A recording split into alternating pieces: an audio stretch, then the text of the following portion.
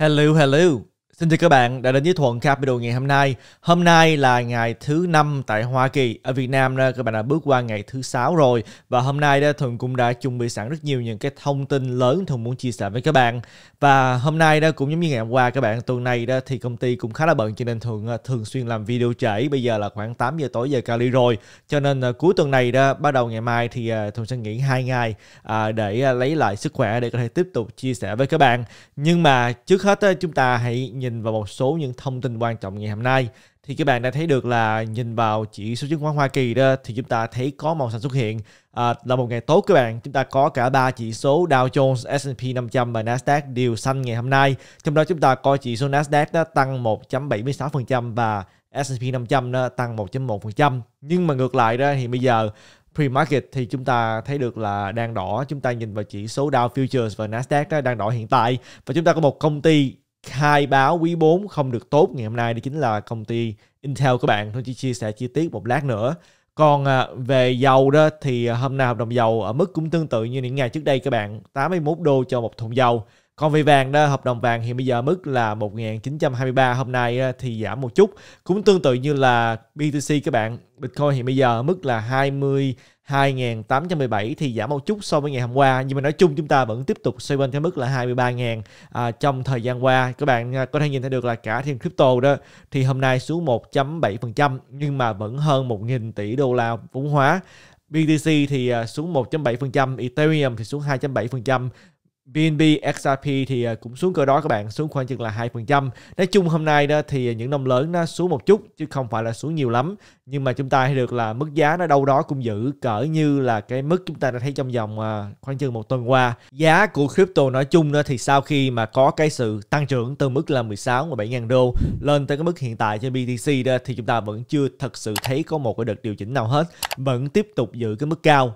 Và hôm nay nữa chúng ta sẽ không nói quá nhiều về giá của BTC hay là crypto, nhưng mà Thuận cũng dành một thời gian trong video này để mà chia sẻ với các bạn tại sao Thuận lại có lòng tin dài hạn liên quan đến giá cả của BTC nói riêng và chúng ta sẽ nói về đề tài đó có thể là trong cái à, phần 2 của video này. Đầu tiên hết uh, Thuận muốn đưa đến các bạn một số những thông tin lớn ngày hôm nay. Thì hồi sáng nay chúng ta đã nhận được cái à, thống kê GDP tổng sản lượng quốc nội tại Hoa Kỳ trong quý 4 thì cuối cùng con số là 2.9% các bạn, có nghĩa là nền kinh tế Hoa Kỳ vẫn tăng trưởng mặc dù đã chậm lại nhưng mà vẫn tăng trưởng chứ không phải là suy thoái dựa theo GDP các bạn. Và con số này đã, đã cao hơn ước tính. Ước tính là 2.8% thì con số này đã tốt hơn ước tính rồi.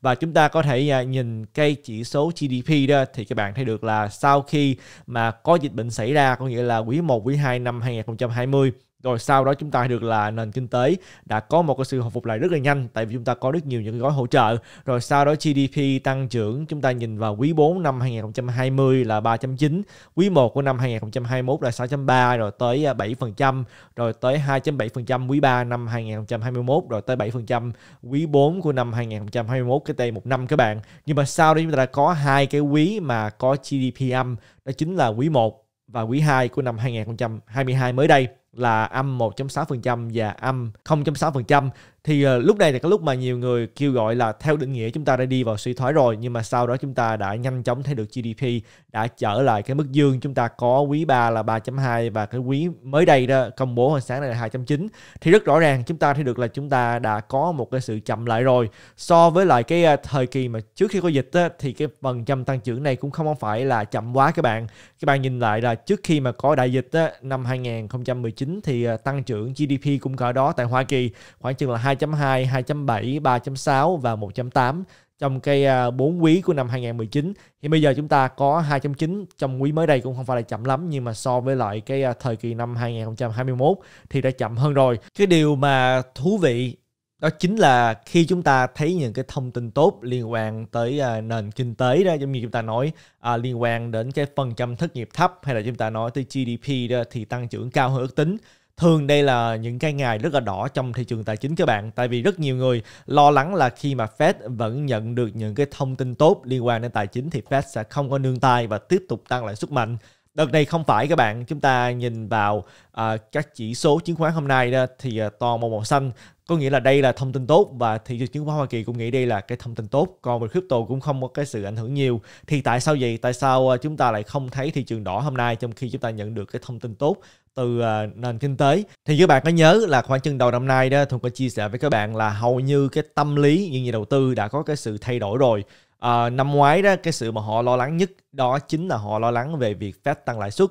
Họ lo lắng về Fed tăng lãi suất còn cao hơn sự lo lắng của họ so với lại nền kinh tế có thể đi vào suy thoái các bạn.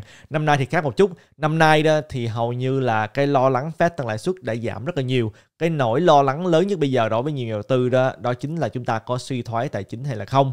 Có rất nhiều bạn nghĩ chúng ta đã đi vào suy thoái tài chính rồi, có nhiều người nghĩ là chưa. Nhưng mà thật sự đó, nếu chúng ta nhìn vào những cái yếu tố mà khiến nhiều người lo lắng đó, thì nó vẫn chưa có xuất hiện có nghĩa là phần trăm thất nghiệp cao hay là người ta không có tiền trả tiền nhà không có tiền trả tiền xe dẫn đến bị kéo nhà kéo xe vân vân. Những điều đó thì vẫn chưa có xuất hiện.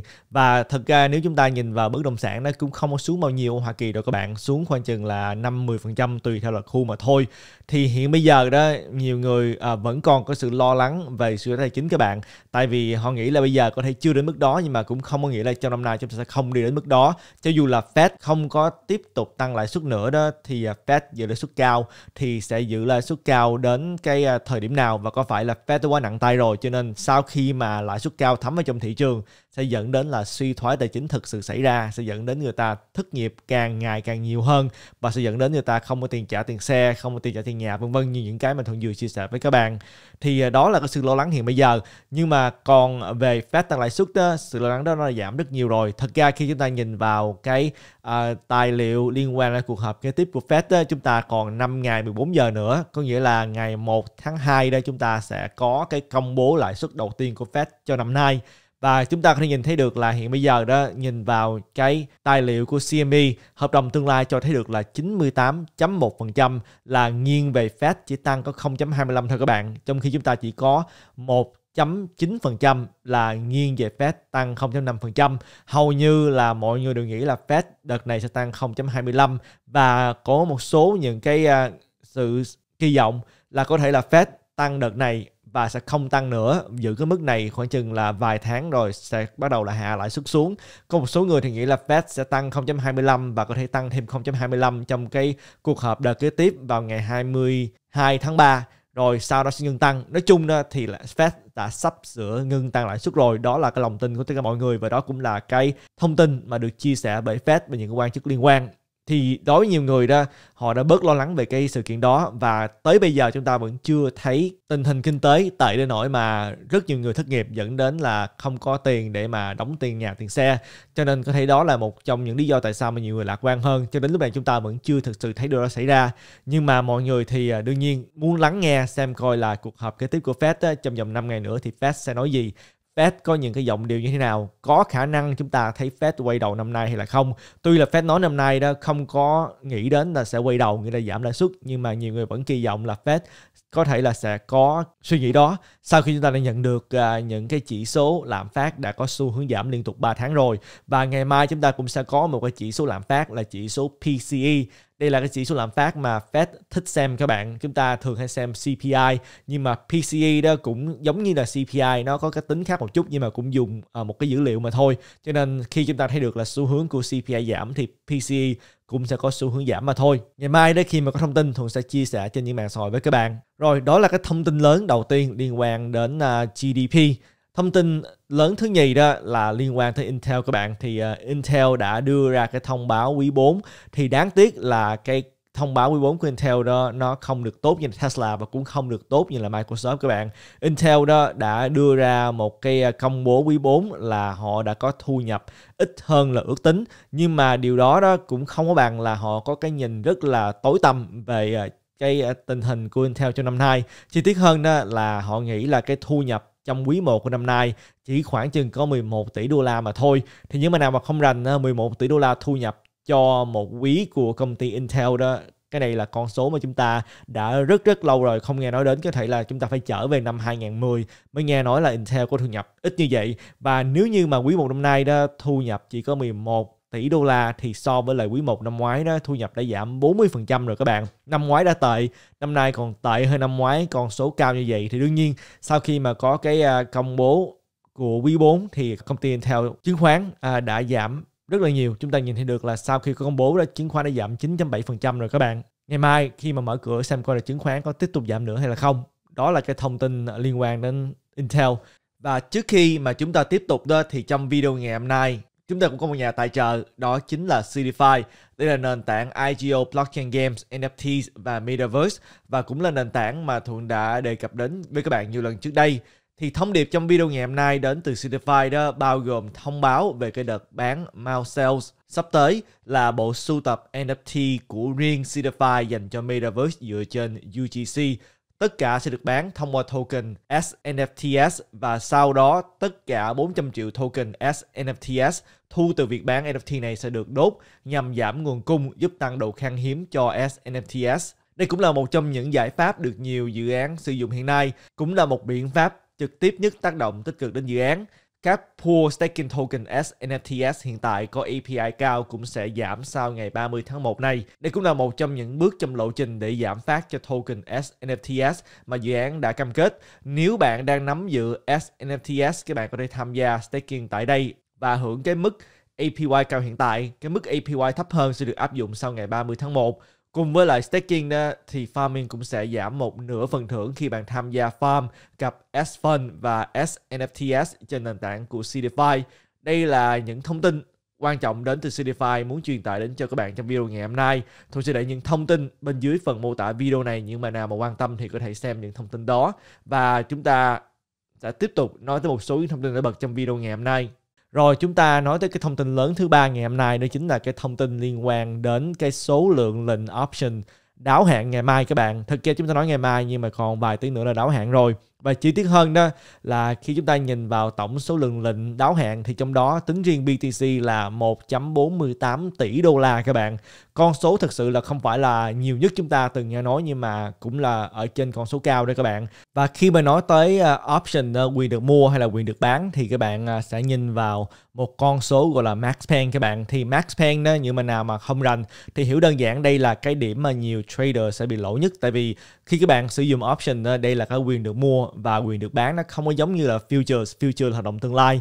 Thì đối với hợp đồng tương lai giống như các bạn trade trên những sàn như là Binance thì nó là hợp đồng tương lai vĩnh viễn. Các bạn cứ tiếp tục giữ lệnh các bạn mà thôi đừng có để margin call à, hay là các bạn có lời các bạn chốt là được. Nhưng mà đối với là option thì khác một chút. Đây là cái quyền được mua hay chúng ta còn gọi là call option hay là quyền được bán, còn gọi là put option. Hiểu đơn giản là các bạn mua một cái hợp đồng để các bạn được quyền mua ở một mức nào đó hay là được quyền bán ở một mức nào đó. Và khi mà cái giá hiện tại đã không như ý muốn thì các bạn sẽ bỏ cái quyền đó luôn. Tại vì không có lý do gì mà các bạn sử dụng cái quyền đó khi mà các bạn có thể trực tiếp lên sàn mua bán với cái mức giá nó tốt hơn cho các bạn một cái ví dụ đi, giống như chúng ta nói tới là ngày mai đó, cái điểm max pen là 19.500 đô, có nghĩa là phần lớn đó, các trader không thích cái mức này. Khi mà giá mức này đó, thì tất cả quyền của họ coi như họ sẽ bỏ. Tại vì không có lý do gì mà họ sử dụng cái quyền trong khi mà họ có thể tự lên trên sàn mua bán ở cái mức giá nó tốt hơn cái mức giá trong hợp đồng của họ. Cho nên max pen là cái điểm mà nhiều bạn rất là quan tâm đến thường đó thì à, có rất nhiều những cái thuyết âm mưu nói là mỗi lần mà chúng ta thấy có một số lượng lớn option sắp sửa hết hạn đó thì à, cái giá của BTC nó sẽ đi về cái hướng max pen để cho sàn có lời nhiều nhất. Thì có thể cái đó cũng là đúng các bạn. Đương nhiên thường không thể nào mà chia sẻ những cái bằng chứng với các bạn được. Thường đâu có những bằng chứng đó đâu nhưng mà đó cũng là một điều thường cảm thấy là có thể xảy ra. Nhưng mà đợt này thì khác các bạn tại vì cái điểm max pen là 19.500 đô trong khi mà giá BTC bây giờ là khoảng 22.800 đô. Cái sự khác biệt nó khá là lớn.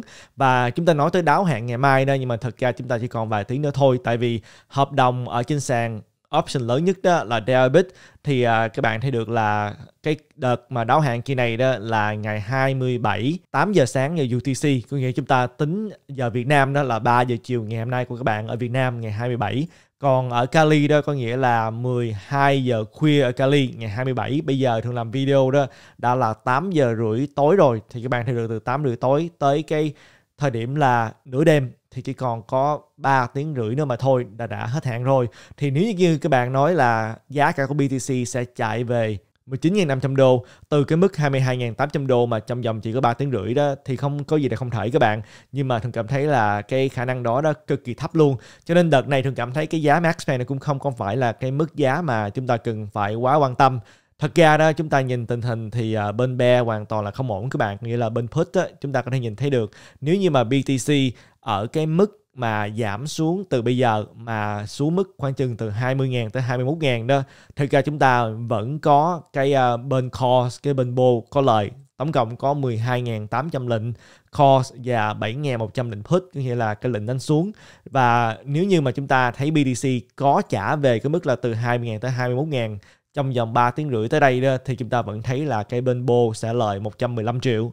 Nếu như mà giá xuống một chút xíu thôi giữ mức là từ 21 tới 22 ngàn thì chúng ta vẫn thấy là bên Bô vẫn có lời 17.600 định cost và 2.800 định put và bên Bô sẽ có lời là 320 triệu. Nếu như mà giá giữ cái, ở cái mức này các bạn, từ 22.000 tới 23.000 đó, thì bên Bô sẽ có lời là 455 triệu và nếu như mà giá tăng lên một chút nữa, từ mức là 23 tới 24.000 đó, thì bên Bô có lời là 595 triệu. Thì nói chung, tính sao đi nữa đó, thì các bạn thấy được là kỳ này bên bear hoàn toàn không ổn và bên bo sẽ có lợi nhuận khi chúng ta nói tới option tại vì họ đã mua những cái quyền được mua ở những cái mức thấp hơn bây giờ, cho nên họ sẽ sử dụng cái quyền đó để có thể mua được bitcoin với cái giá rẻ.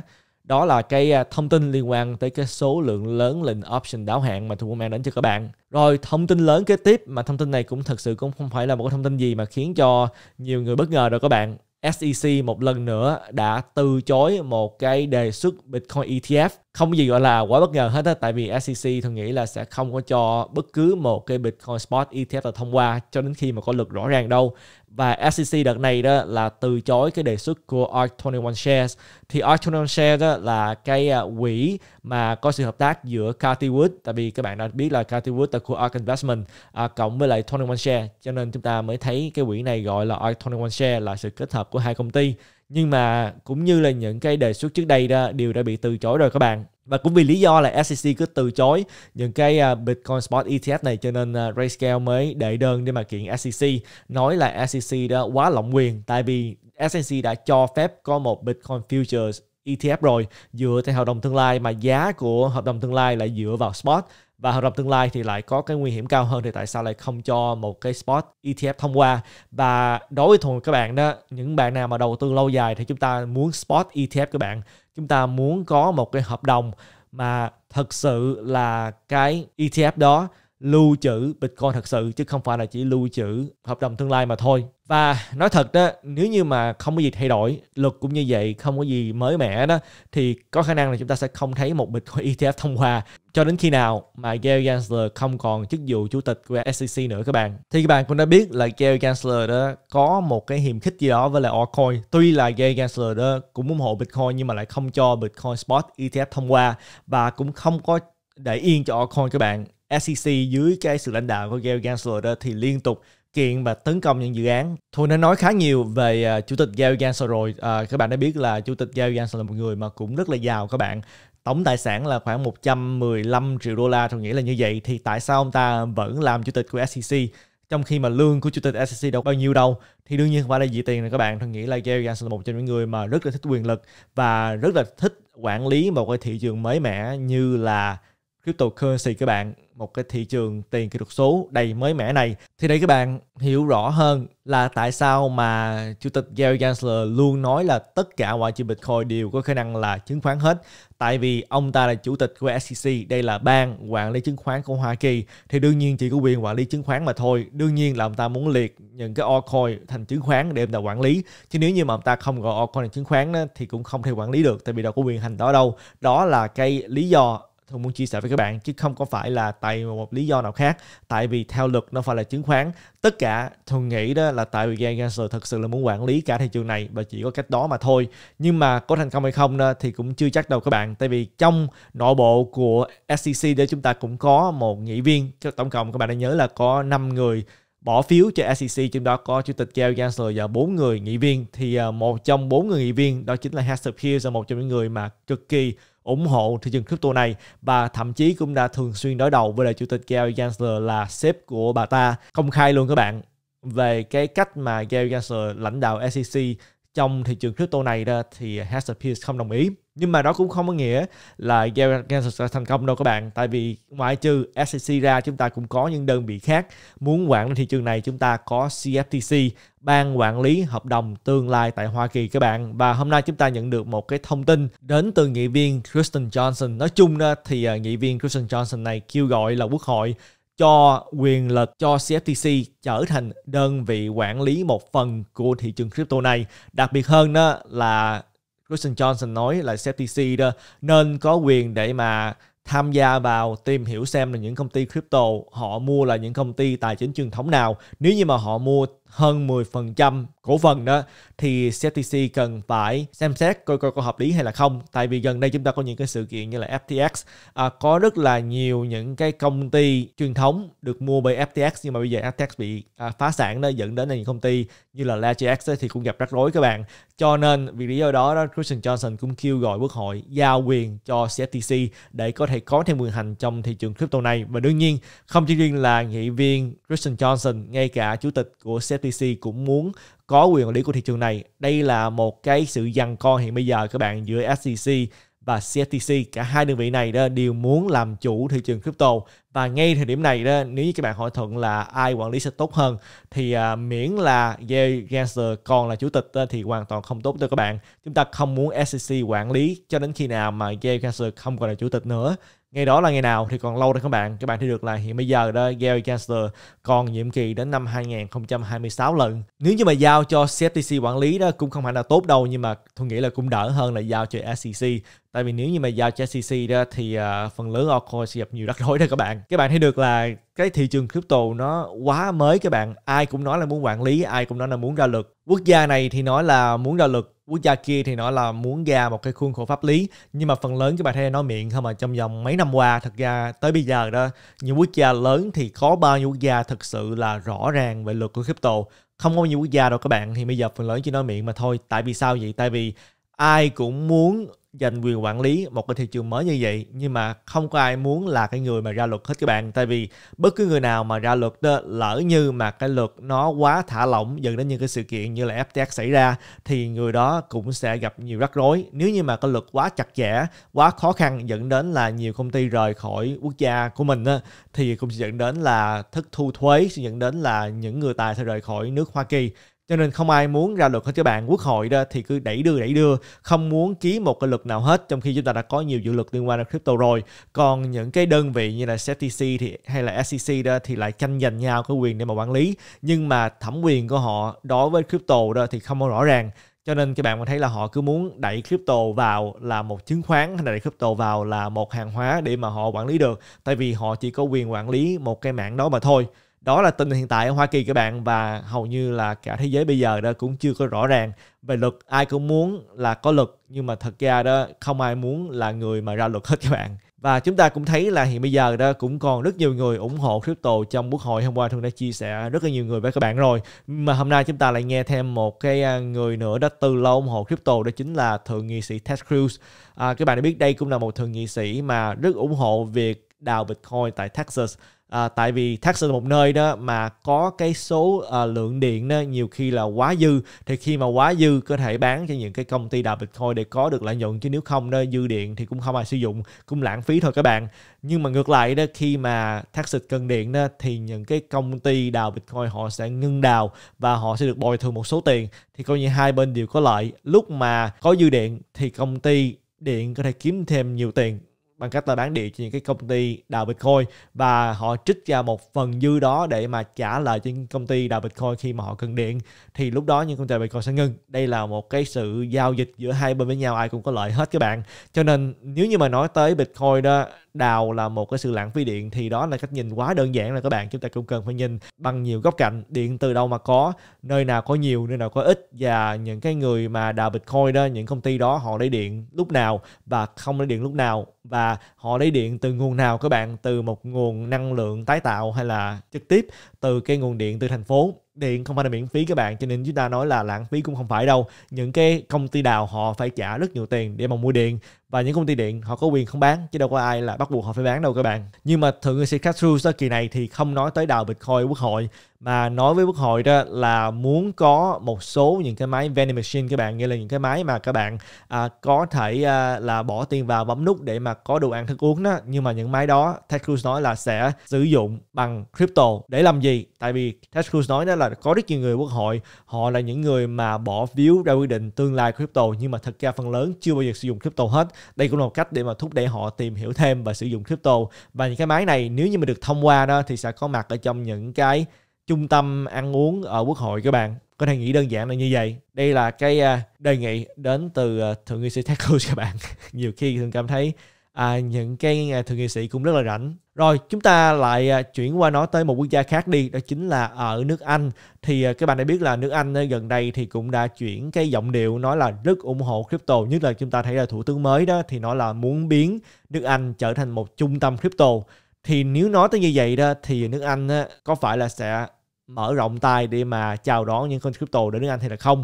Thì họ nói là họ cũng chào đón, nhưng mà tất cả những công ty cần phải được đăng ký với lại bộ tài chính của nước Anh. Và những công ty đó chúng ta có sàn giao dịch, chúng ta có công ty cung cấp dịch vụ trong thị trường crypto. Và nước Anh nói đó là họ đã nhận được tổng cộng là cái đơn xin giấy phép hoạt động ở nước Anh cho tổng cộng là 300 công ty. Nhưng mà chỉ có 15% công ty là được cấp giấy phép hiện bây giờ mà thôi cái con số này quá nhỏ người ta bây giờ đang đặt câu hỏi là tại sao chỉ có 15% được Bộ Tài chính nước Anh cấp giấy phép để hoạt động còn lại 85% thì lại không được? Có phải đã quá gắt gao hay là không? Thì không phải đâu các bạn. Bộ Tài chính nước Anh đã chia sẻ kỹ càng hơn đó. Họ nói là thật ra trong con số à, công ty mà điền đơn để có thể có được bằng hoạt động của nước Anh á, thì họ chấp nhận 15% nhưng mà 74% là tự động rút đơn các bạn chứ không phải là họ không chấp nhận cái số lượng mà họ bác bỏ đó chỉ có 11% mà thôi, con số rất là nhỏ. Họ chấp nhận nhiều hơn là bác bỏ nhưng mà còn con số lớn 74% nữa là không muốn tiếp tục nữa, họ muốn rút đơn. Khi mà Bộ Tài chính nói họ cung cấp những cái thông tin như là các hoạt động công ty như thế nào, à, tiền di chuyển ra sao, tiền à, nguồn gốc như thế nào, tổng số vốn hóa là bao nhiêu, những người lãnh đạo là ai, lý lịch họ ra sao? Và họ sẽ có những quyền hành gì? Cũng như là họ sẽ có những trách nhiệm gì trong công ty? Thì khi mà hỏi những cái câu hỏi đó đó thì có số lượng lớn công ty đã quyết định là không tiếp tục nữa ở nước Anh. Cũng tốt các bạn đây à, cũng là một trong những cách để có thể loại bỏ những công ty không tốt. Họ sẽ không có tiếp tục hoạt động ở nước Anh nữa chỉ những công ty mà rõ ràng nguồn gốc thì mới tiếp tục hoạt động được mà thôi.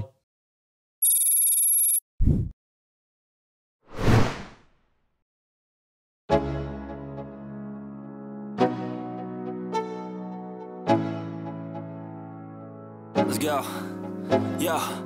I'm like an addict, do I gotta have it? I ain't even playing, got a really bad habit. If it moves, gotta grab it, fuse like a magnet. Lose, won't have it till I'm doomed in a casket. I ain't playing, gotta